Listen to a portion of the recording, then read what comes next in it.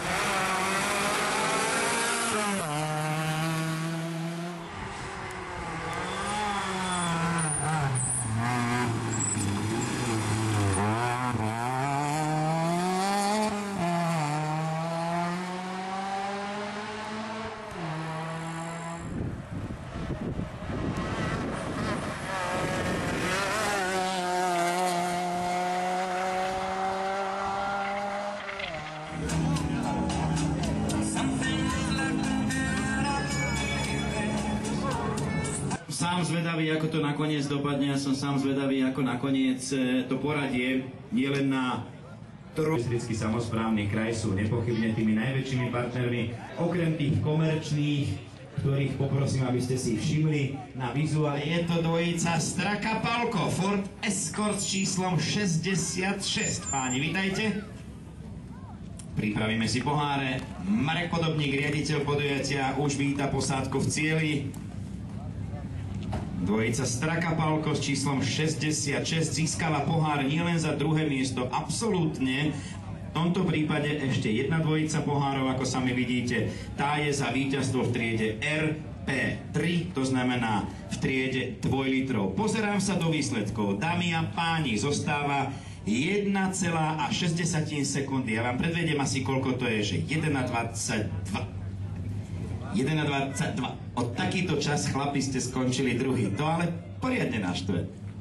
Ja myslím, že som nadmieru spokojný, že som prvýkrát v živote veľké preteky, tak vlastne ja som vyhral. Čiže aj pri tom, že to bolo také tesné, spokojnosť a úsmev. Dobre sa išlo s Ladom Palkom? Maximálne som spokojný. Poslúchal, dobrý bol?